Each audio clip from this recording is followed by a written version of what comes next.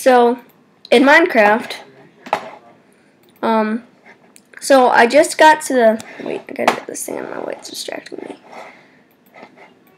So I just got to the Ender Dragon boss, and then I noticed if you right click on a bed here,